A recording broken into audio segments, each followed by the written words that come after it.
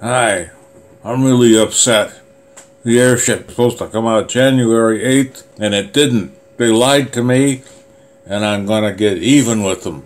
You better get the airship among us posted. We need the airship map updated.